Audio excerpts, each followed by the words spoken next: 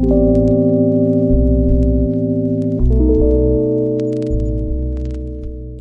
let's start with chapter number 11 The Copper Beaches. Let's see. Something is going on in a house in a countryside. It is for the famous detective Sherlock Holmes to solve the mysterious happenings in the house known as Copper Beaches. देखिए एक घर है ठीक है वो country side पर located है तो उस घर पर क्या है कंट्री साइड देखो फ़र्स्ट ऑफ़ ऑल मैं एक्सप्लेन करना चाहती हूँ। देखो कंट्री साइड होता है, जहाँ पर विलेज वगैरह में लोकेटेड हो। ये जो घर है विलेज के पास लोकेटेड है। यानी कि सिटीज़ हो गए बिल्डिंग्स हो गए, ये सारी चीज़ों से दूर हो, ठीक है? तो ये जो घर है, कहाँ पर लोकेटेड है? कंट्री साइड पर लोकेटेड है। इस घर के अंदर क्या हो रहा है? कुछ मिस्टीरियस सी चीज़ें हो रही हैं। तो इस घर का नाम क्या है? कॉपर बीचेस इस घर के अंदर जो मिस्टीरियस चीज़ हो रही हो रही हैं, उनको कौन सॉल्व करेंगे? एक फ़ेमस डिटेक्टिव जिनका नाम है Sherlock Holmes So let's see, on a cold morning in early spring, the door opened and a young lady entered the room. She was plainly but neatly dressed, with a bright face and brisk manner. तो ये जब होता है spring होता है ठीक है spring की सीज़न में क्या होता है सुबह सुबह मॉर्निंग अर्ली स्प्रिंग में क्या होता है कोल्ड मॉर्निंग में दरवाज़ा खुलता है। तो एक रूम में एक लेडी एंटर करती है, बहुत यंग लेडी होती है, ठीक है? तो वो एकदम प्लेनली थी, उसकी जो क्लोथ्स थे प्लेनली थे नीटली ड्रेस थी, यानी कि साफ़ सुथरे, जो कपड़े वो पहनी थी, वो एकदम साफ़ सुथरे थे। With a bright face and brisk manner उसकी जो फेस था वो चमक रहा था ब्राइट था, यानी कि शी कह सकते हैं इस यहाँ से पता कर सकते हैं कि वो स्माइल कर रही थी दैट्स वाई उसका फेस ब्राइट था। ब्रिस्क मैनर में थी वो कोई और एनर्जेटिक मैनर में वो थी। देखो, अगर आप किसी से मिलना चाहते हो, अगर आपको अपनी बातें बतानी किसी को तो आप बहुत एक्साइटेड होते हो ना कि अपने आपके बात को शेयर करूँ उनसे। तो वैसे ही मे बी वो बहुत क्विक एनर्जेटिक मैनर में वहाँ पर जाती है। She introduced herself as Miss Violet Hunter and began by saying, Sorry for troubling you, but I have had a very strange experience. I thought that you will be kind enough to tell me what I should do, Holmes offered to help her. तो वो introduce करते हुए कहती कि मेरा नाम क्या है मेरा नाम है मिस वॉलेंट हर्टर और वो कहते हैं कि मुझे माफ़ करिएगा कि अगर मैं आपको परेशान कर रही हूँ लेकिन मेरे साथ एक बहुत स्ट्रेंज एक्सपीरियंस हुआ है ठीक है तो मैं वो आपके साथ शेयर करना चाहती हूँ।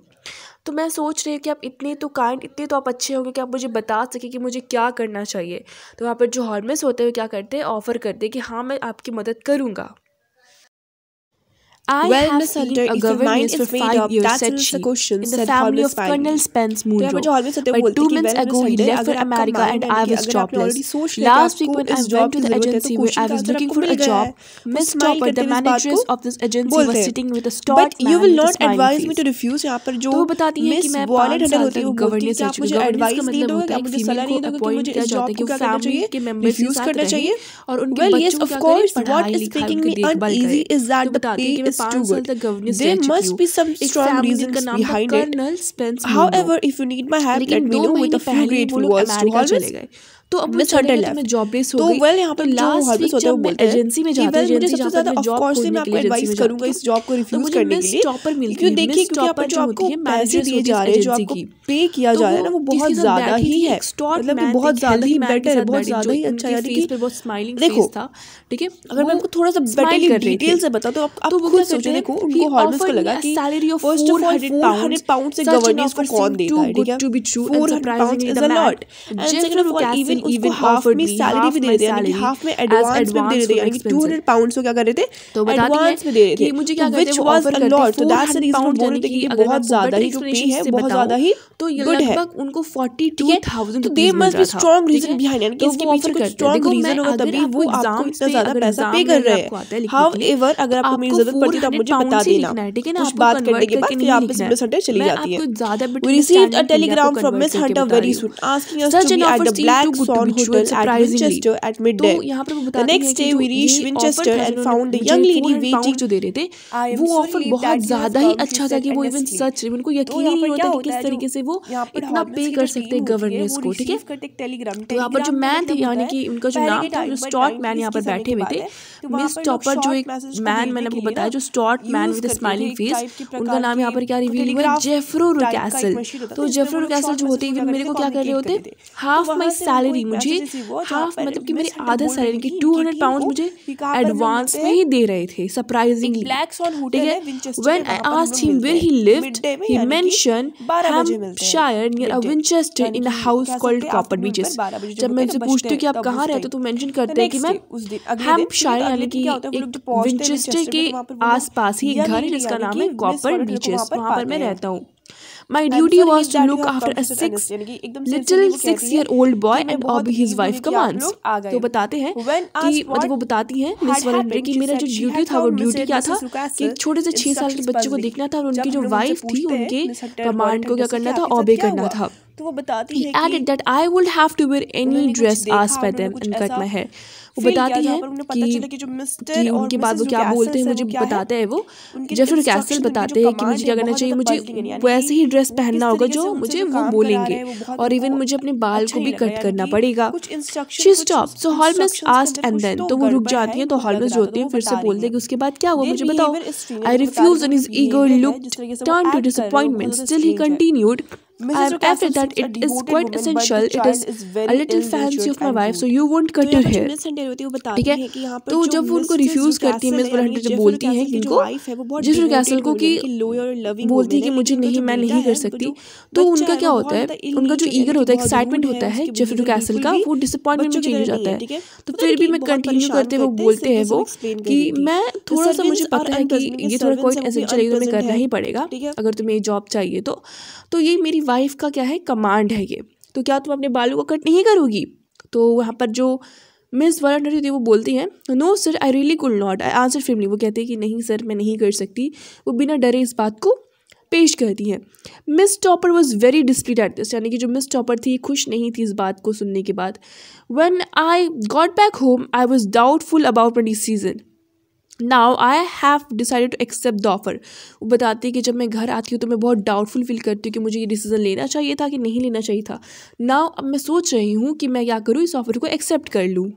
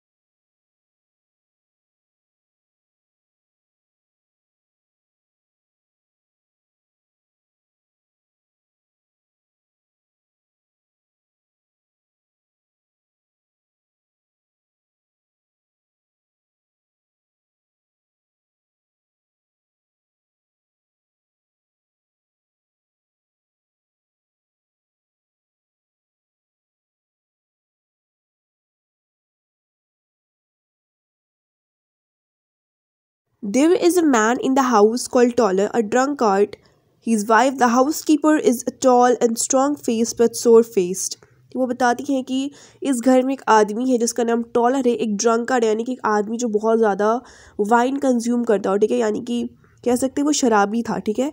और उसकी जो वाइफ है, वो हाउस कीपर यानी कि घर का देखभाल करती है, वो टॉल है, लंबी है स्ट्रॉन्ग वुमेन है, लेकिन सॉर फेस्ड है। सॉर फेस्ड का मतलब उनका जो बिहेवियर है, बहुत अनप्लेजेंट है अनफ्रेंडली है वो, ठीक है? जैसा वो दिखती है, वैसा बिल्कुल भी नहीं है उसका बिहेवियर ठीक है?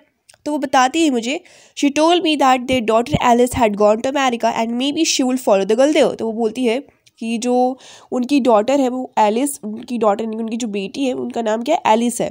तो वो बता दें कि वो अमेरिका चली, जा चुकी है एंड मे बी हम लोग वहीं उसको मतलब कि हम लोग उसको फॉलो करेंगे यानी कि हम लोग भी उधर ही चले जाएँगे कुछ दिनों या कुछ टाइम पर she is saying that thing what is baffling is I was आज to where a blue dress and then आज to sit on the chair near a window mister castle cap telling me funny story is making me smile after an hour और सो mister Rucastle suddenly आज to start my duties by going down to the Edward this sun In the nursery, after changing my dress, the husband and wife went out.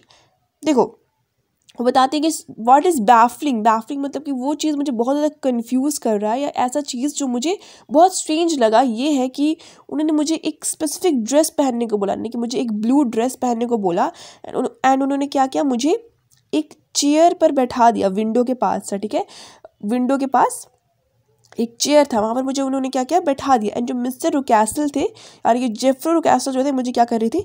Funny funny stories सुना रहे थे, ठीक है? मुझे smile करवा रहे थे, ठीक है? लेकिन आफ्टर आवर यानी एक घंटे के बाद क्या हुआ? एक घंटे या उसी, एक घंटे के ज़्यादा ही, उसके बाद क्या किया? मिस्टर रुकैसल ने मुझे सडनली बोला। अचानक ही उन्होंने मुझे बोला कि जाओ जाके अपनी ड्यूटीज़ कंप्लीट करो, यानी कि गोइंग डाउन इनके नीचे जाओ और उनका जो बेटा है, उनका नाम यहाँ पर रिवील हुआ है एडवर्ड यानी, ये उनका जो बेटा है मिस्टर रुकैसल मिसेस रुकैसल का बेटा का नाम क्या है? एडवर्ड है। तो उनके सन के पास जाओ नर्सरी में उसकी देखभाल करो, देखो उसे, ठीक है? तो आफ्टर चेंजिंग माई ड्रेस यानी कि अपनी ड्रेस को कपड़े को बदलने के बाद में क्या करते हैं हस्बैंड और जो वाइफ होते हैं, वो कहीं चले जाते हैं। तो two days later this same performance was repeat यानी कि दो दिन के बाद ऐसा सेम परफॉर्मेंस फिर से रिपीट हुआ। यानी कि ये फिर से जितना भी चीज़ मैंने बोला था ना, जैसे कि ब्लू ड्रेस पहनकर विंडो के सामने बैठना एक चेयर पर, ये सब फिर से ये परफॉर्मेंस क्या हुआ? रिपीट हुआ। I soon found a means to see what was happening behind यानी कि बताती हैं कि मैंने क्या किया? एक एक आइडिया मुझे आया जैसे मैं पता कर सकती हूँ कि मेरे पीछे क्या चल रहा है, मेरे बिहाइंड यानी कि मेरे विंडो की जहाँ पर वो बैठी हुई थी। एज बिन अगर आपने पिक्चर देखा होगा तो वहाँ पर वो इस तरीके से बैठी हुई थी, उसके पीछे विंडो था, लेकिन उसको अलाउ नहीं था ना। मतलब कि पीछे वो देख भी नहीं सकती ना तो फिर मैनर ख़राब हो जाएगा ना। आप खुद ही देखो, अगर आपको इस तरीके से बैठाता है तो आप उनके जोक्स को सुनोगे या फिर आप पीछे मुड़ मुड़ के देखोगे। लेकिन वहाँ पर वो नहीं देख सकती थी। उसको एक कमांड मिला था कि तुमको क्या करना है, उस विंडो के सामने बैठना है हिलना डुलना नहीं है, ठीक है? इतना स्पेसिफिकली नहीं बताया गया है हमें, लेकिन इतना हम लोग समझ सकते हैं, ठीक है? तो वो बताती है कि मैंने एक, मुझे एक आइडिया है कि किस तरीके से मैं अपने पीछे जो क्या हो रहा है मेरे पीछे मैं उस चीज़ को देख सकूँ। तो मैं क्या करती हूँ कॉन्क्लीट यानी कि मैं क्या करती हूँ, एक कॉन्सील्ड यानी कि एक किस तरीके से मैं एक मिरर को मिरर को क्या करती हूँ, मैं छुपा लेती हूँ अपने हैंड चिप यानी कि अपने रुमाल में मैं उसको छुपा लेती हूँ। तो I saw a small bearded man in grey suit looking in my direction outside the window बता दें कि मैंने क्या देखा, एक छोटा सा बियर यानी कि जो जिसकी दाढ़ी मूछ हो, उस तरीके का एक मैंने आदमी को देखा जो ग्रे सूट पहना हुआ था, ठीक है? एंड वो मेरी ही डायरेक्शन में देख रहा था विंडो के आउटसाइड में जब देखा ना तो मेरी ही डायरेक्शन में वो देख रहा था। तो Mrs Rucastle remark to Mister Rucastle that the man was looking towards me जो मिसेज रुकैसल होती हैं, वो क्या करती हैं? मिस्टर रुकैसल को किसी वे में बताती रिमार्क करके बताती हैं कि वो जो मैन है मतलब कहाँ देख रहा है? मेरी तरफ़ देख रहा है। He asked me to turn around and motion to him to go away ठीक है? तो उन्होंने मुझे बोला कि तुम विंडो के साइड देखो एंड उसको मोशन यानी कि जो मैन था, आपको दिखाया था मैंने, जो ग्रे सूट में पहना वो जो मैन था, वो उसको क्या करते मोशन से कुछ बताते कि तुम यहाँ से चले जाओ, ठीक है? उसके बाद क्या होता है? I did as I was told यानी कि बोलती है कि जैसा उसने बोला तो मैंने वैसा किया। Mister Castle also showed me a huge mastiff यानी कि जो मिसेस, जो मिस्टर रुकैसल, यानी कि जेफरी रुकैसल, उन्होंने क्या किया, मुझे एक ह्यूज मैस्टिव यानी कि एक ह्यूज डॉग दिखाया, ठीक है? इनका, जिसका नाम था कैरलो था कैरलो ठीक है? यार्ड में वो था, बंधा हुआ था, ठीक है? बताते हैं कि जो मिस्टर टोलर होते हैं टॉलर जो होते हैं, मिस्टर टोलर उसको हमेशा हर रात वो इसको छोड़ देते हैं, ठीक है? यानी कि क्या करते अभी तो वो बंधा हुआ था, अगर आपने पिक्चर देखा होगा तो वहाँ पर वो जो ह्यूज डॉग कार्लो था, उसको बाँध दिया गया था, ठीक है? लेकिन उसको रात को क्या होता है, जो मिस्टर टॉलर होते हैं, ठीक है, उनको वो क्या करते हैं, इस कार्लो इस ह्यूज डॉग को छोड़ देते हैं, ठीक है? तो इधर उधर वो रात को इधर उधर रहते हैं, ठीक है? She was quiet then she continue कुछ देर के लिए वो चुप हो गई, उसके बाद फिर से वह बोलती है। One day when I was exploring the house I found a locked room which Mister Rucastle had called his dark room for his hobby of photography ठीक है? तो बताती हैं, एक दिन जब मैं इस घर को एक्सप्लोर कर रही थी, यानी कि हर जगह मैं देख रही थी, छानबीन कर रही थी तो मुझे एक लॉक्ड रूम मिला मतलब कि एक बंद कमरा मिला तो जहाँ पर मिस्टर रुकैसल ने बताया बताया था कि ये जो डार्क रूम है, इसमें क्या करते हैं, वो फोटोग्राफी का उनको शौक है, उनका हॉबी है। तो उसमें मे बी वो फोटोग्राफी वगैरह रखते होंगे, ठीक है? लेकिन मेरे साथ क्या हुआ, मैंने देखा था बहुत बार कि जो टॉलर है और उनकी वाइफ है, यानी कि मिस्टर एंड मिसेस टॉलर को मैंने यहाँ पर इस रूम में आते जाते हुए बहुत बार देखा है। विथ लाइनन लाइनन मतलब एक कपड़ा लेते हुए वो हमेशा मैं देखती हूँ उनको कि वो क्या करते हैं आते जाते हुए मैं देखती हूँ, वो भी कपड़े ले जाते हैं वो लोग, ठीक है? As I stood in the passage looking at the door I heard the sound of steps within the room and so I shadow in the dim lights from under the door ठीक है? तो वो बताती हैं कि जैसे मतलब कि जब मैं उस डायरेक्शन में जब डोर को देख रही होती हूँ, तब क्या होता है, मैं किसी की चलती हुई, यानी कि किसी की फुट स्टेप्स को क्या करती हूँ नोटिस करती हूँ, मुझे उसकी आवाज़ सुनाई देती क्योंकि चल रहा है। एंड उस रूम के अंदर कोई चल रहा है एंड इवन मुझे एक शेडो भी दिखता है यानी कि हल्के लाइट में किसी की परछाई भी दिखती है उस रूम में। सो so, आपने कभी कभी ना देखा होगा कि जो डोर होते हैं उसके नीचे कितना स्पेस होता है तो उसी स्पेस से मिस वॉलेट हंड्रेड को एक शेडो दिखता है। सो so, आपने देखा होगा कि बहुत सारे एज ए डोर्स के नीचे बहुत गैप होते हैं तो उससे उसको शेडो वो दिखता है ठीक है मिस वॉलेट हंटर को। I ran away in fright but met Mister Rucastle on the way तो बताती है कि जब मैं भाग रही होती हूँ, मैं बहुत डर जाती हूँ तो मैं जा रही होती हूँ, तब मुझे रास्ते में मिस्टर रुकैसल मिल जाते हैं। He threaten that if I ever set foot in that part of the house he would through me to the mastiff I am so terrified Mister Holmes वो बताती है कि जब मैं रास्ते से जा रही होती हूँ तो मुझे कौन मिलते हैं? मिस्टर रुकैसल तो मुझे थ्रेट यानी कि मुझे वो धमकी देते हैं कि अगर मैंने उस पार्ट उस घर के पार्ट पर अगर मैंने कदम तक भी रखा तो वो क्या करेंगे? मुझे वो जो मै मैस्टिफ का मतलब होता है, जो डॉग था ना कार्लो वो बड़ा सा डॉग वहाँ पर मुझे फेंक देंगे उसके पास, ठीक है? I am so terrified Mister Thomas, वो बताती हैं कि मैं बहुत ज़्यादा डरी हुई हूँ मिस्टर हॉलमिस वो इस तरीके से बोलती हैं। You have been a very brave and sensible girl Miss Hunter do you think that you will perform one more feat आज हॉलमिस बताते हैं कि तुम बहुत ज़्यादा ब्रेव लड़की हो, तुम बहुत ज़्यादा सेंसिबल लड़की हो, ठीक है? मिस हंटर तुम क्या एक और चीज़ हमारे लिए एक और टास्क कर सकती हो? आई विल ट्राई यानी कि मिस हंटर बोलती है हाँ मैं कर सकती हूँ, ठीक है? We shall be at the Copper Beeches by seven o'clock to morning Castles will be gone by that time and Toller will be drunk. Could you send Mrs Toller into the cellar and then lock her in तो वो बोलते हैं कि हम लोग कल सात बजे से कल कल के टाइम सात बजे तक हम लोग कॉपर बीचेस यानी कि मिसेस और मिस्टर रुकैसल्स के घर पहुँच जाएँगे, ठीक है? तो रुकैसल्स जो होंगे उस टाइम कहाँ, घर, उस टाइम वो घर से बाहर होंगे। टॉलर जो होगा वो ड्रंक होगा, ठीक है? उसको उस टाइम होश वगैरह नहीं होगा क्योंकि वो he was he was consuming alcohol तो दैट्स द रीज़न वो क्या होगा? अपने ही मगन में खोया रहेगा। तो could you send Mrs Toller in cellar and then lock her in तो बोलते, क्या तो मिसेस टॉलर को सेलर सेलर क्या होता है? सेलर एक अंडरग्राउंड एक स्टोर रूम कह सकते हैं, ठीक है, जहाँ पर फ़ूड वगैरह को स्टोर किया जाता है। या इवन कह सकते हैं बेसमेंट की तरह ही एक होता है, जहाँ पे लोग फ़ूड स्टोर करते कोई फर्नीचर कुछ भी, ठीक है?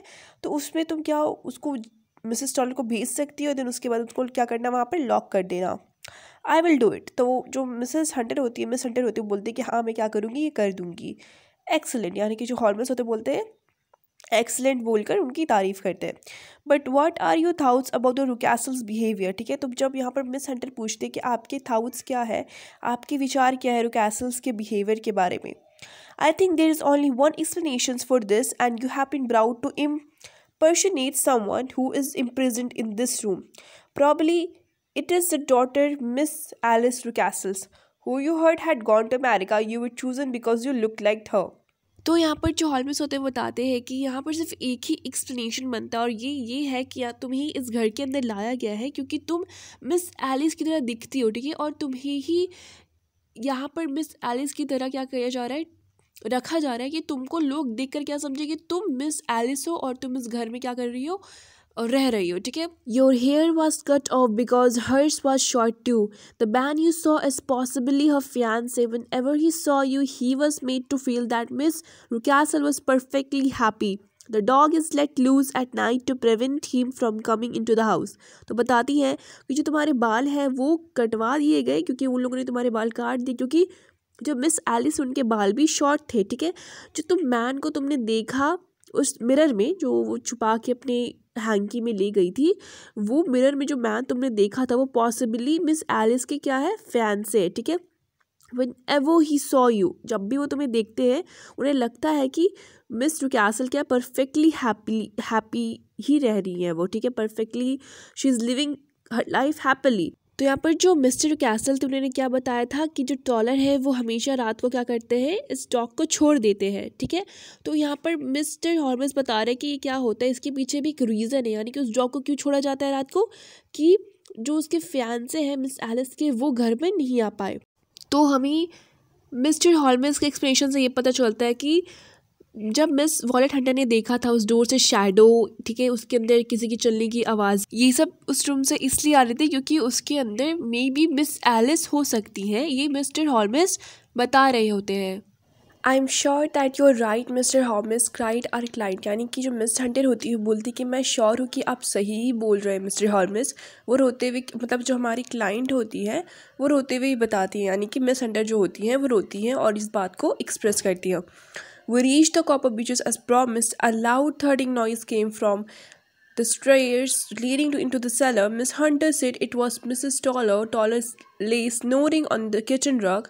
She also had duplicate keys to the locked rooms where she had heard steps. तो मिस्टर हॉर्मिस और उनकी जो टीम होता है वो बोलते हैं कि we reach the Copper Beeches as promise जैसे हमने प्रॉमिस किया था हम लोग वैसे ही कॉपर बीचेस पहुँच जाते हैं a loud thudding noise came from the stairs leading into the cellar बताते हैं कि एक लाउड सा थर्डिंग सा नॉइज़ यानी कि एक लाउड सा आवाज़ आता है ठीक है स्टेयर्स से जो स्टेयर्स जो सीढ़ियाँ होती हैं ना, वहाँ से आवाज़ें आती हैं। जो सीढ़ियाँ सेलर तक का रास्ता था, वहाँ से आवाज़ आ रही थी। हमें मिल्स हंटर ने बताया कि वो मिसेस टॉलर है।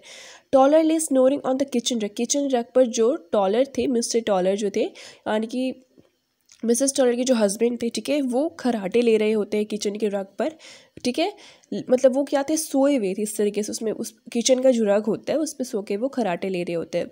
She also had duplicate keys the lock room way she had heard steps बताती हैं। मिस हंटर के पास क्या था डुप्लीकेट कीज़ भी था उस लॉक रूम पर, जो रूम लॉक था ना, वहाँ का डुप्लीकेट कीज़ जो था मिस हंटर के पास था ठीक है? जिन्होंने क्या किया था वहाँ जहाँ से उनको आवाज़ें सुनाई दी थी किसी की चलने की। We reach the door and unlocked it हम लोग क्या किए वहाँ पर पहुँचे और फिर उसको खोल दिया। मतलब उस डोर के पास जब हम लोग गए तो हमने उसको खोल दिया। Together we rush into the room but it was empty जैसे ही हम लोग सब टुगेदर ठीक है?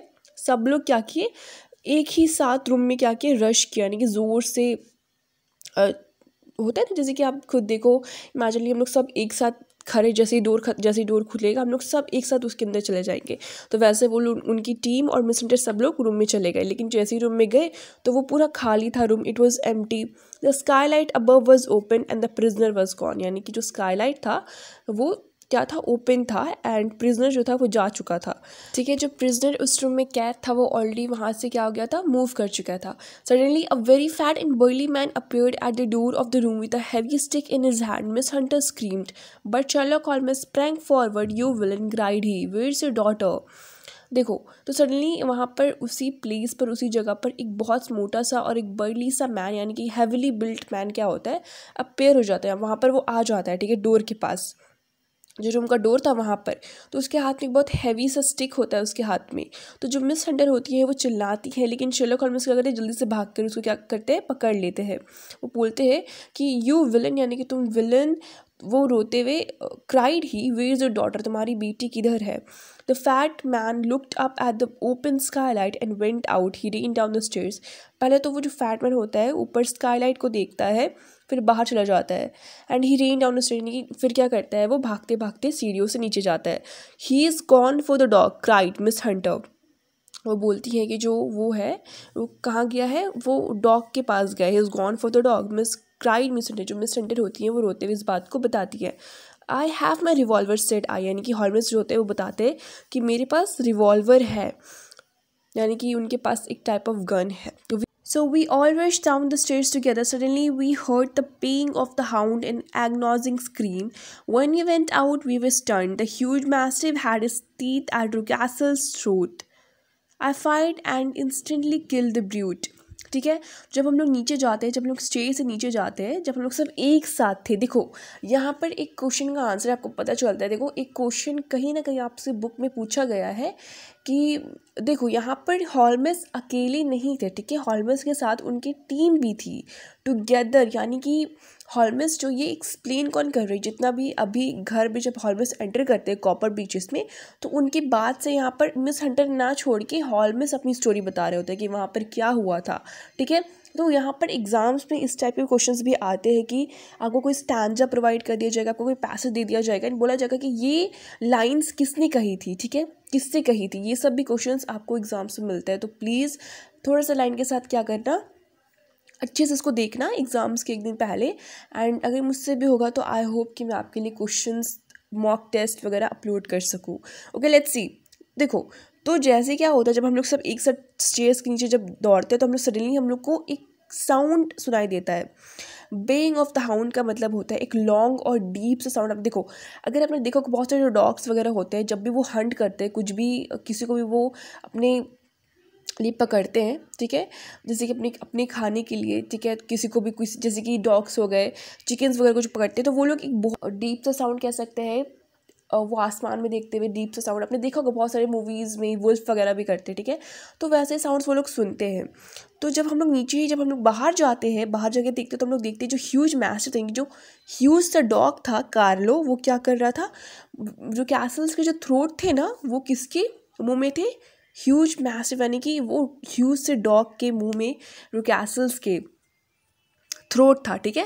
तो I fired and instantly kill the brute यानी कि क्या करते थे? वो उन्होंने क्या किया? अपना रिवॉल्वर निकाला और उसको क्या कर दिया? मार दिया उस डॉग को and kill the brute so we laid Mister Rucastle upon the drawing room sofa Miss Hunter had release Mrs Toller and she entered the room तो हम लोग क्या करते हैं? Mrs I mean Mister Rucastle को क्या करते हैं? हम लोग सुला देते हैं ड्राइंग रूम में जो सोफ़ा था ना वहाँ पर।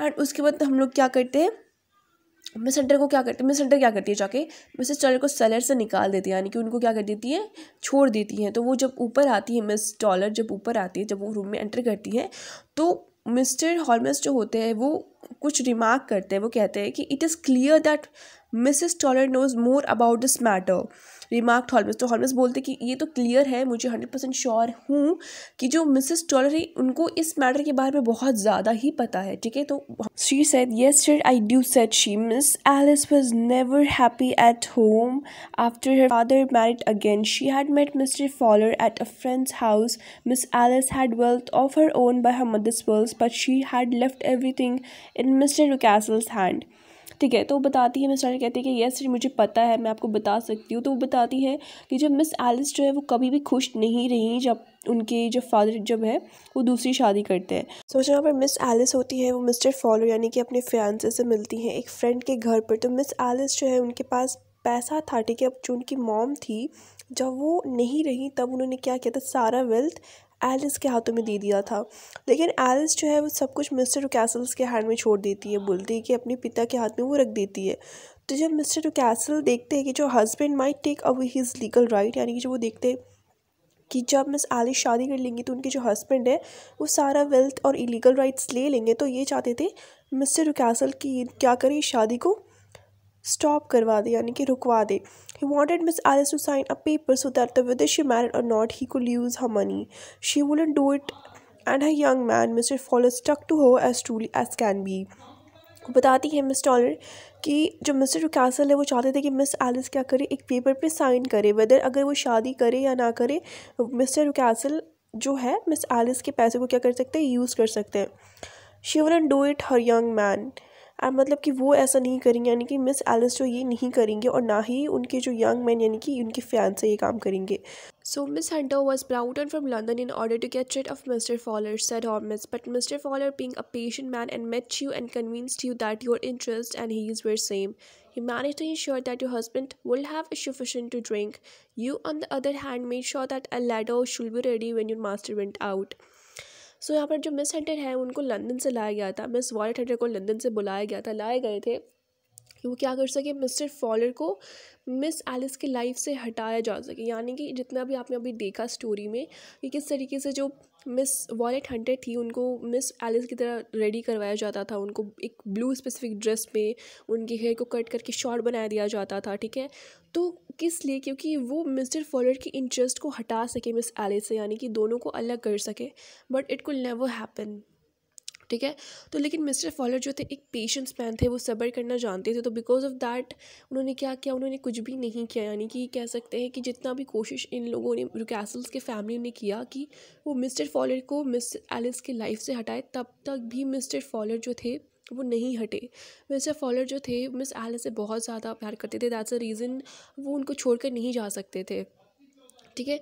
तो दोनों के इंटरेस्ट यानी कि मिस एलिस और मिस्टर फॉल के इंटरेस्ट बहुत ज़्यादा अच्छे थे, दोनों के इंटरेस्ट सेम थे तो बिकॉज़ ऑफ़ दैट ये और बेटरली उन दोनों को क्लोज रखता था, ठीक है? तो मिस रुकैसल्स जो रुकैसल्स की फैमिली है, वो इन दोनों को अलग नहीं कर पाए। तो अब यहाँ पर थोड़ा सा प्लान से रिलेटेड बताया गया है कि जो उन्होंने क्या किया कि manage to ensure that your husband will have a sufficient to drink and you on the other hand make sure that a ladder should be ready when your master went out तो अब ये बताया गया है कि आप manage करके ensure करना कि जो आपके हस्बैंड है, उनके पीने के लिए कुछ सफिशेंट हो और अदर हैंड में क्या हो कि एक सीढ़ी को भी रेडी रखा जाए जब आपकी मास्टर बाहर जाए, ठीक है? तो यहाँ पर कुछ प्लान्स के रिलेटेड बताया जा रहा है जो वो लोग कुछ कर सकते हैं। तो you have it sir just as it happened यानी कि यहाँ पर मिसाल बोलती है कि जैसा आप कहेंगे वैसा as just happened Holmes apologises to missus Toller and thank her जो हॉर्मस होते हुए वो माफ़ी मांगते हैं मिसेस टॉलर से उनको उनको थैंक भी करते हैं। Mister Castle live but was a broken man mister Fowler and mister Castle married and are now in more at years as to miss Violet Hunter she is now at the head of a private school at Walsall देखिए तो हॉलमिस्ट होते हैं apologise मांगते हैं माफ़ी मांगते हैं। Miss टॉलर्स and उसके बाद उनको थैंक करते हुए बोलते। तो अब उसके बाद क्या हुआ? जो मिस्टर कैसल थे, ठीक है, मिस एलिस के जो डैड थे, मिस्टर कैसल वो अब एक, वो ज़िंदा तो है, वो जीवन जी तो रहे, लेकिन एज अ ब्रोकन मैन एक मतलब कि अब he can not properly live वो हैप्पली लाइफ नहीं जी रहे, वो जी रहे लेकिन एक हैप्पीली और एक सिंपल लाइफ नहीं जी पा रहे because of everything that happen to him और जब मिस्टर फॉलर है और मिस्टर कैसल वो दोनों शादी कर लेते हैं एंड नाउ वो लाइक मैरिड ट्रस्ट में रह रहे हैं, ठीक है? एज जो मिस वॉलेट हंटर थी वो अब एक हेड है प्राइवेट स्कूल की वैलसाल में। तो नाउ यहाँ पर हमारा जो स्टोरी होता है चैप्टर में इलेवन द कॉपर बीचेस यहाँ पर ख़त्म होता है। एंड ये जो स्टोरी है, ये अडेप्ट हुआ the Copper Beeches by Arthur Conan Doyle and that's all for today and I hope you enjoy it if you have any confusion regarding to any of the passage just ask me in the comment section. I will probably, surely reply to you and that's off for today जितने भी एक और chapter lastly बच रहा है हमारा तो वह भी मैं जल्द से जल्द अपलोड कर दूँगी इससे अगले वीक तक. That's off for today have a nice day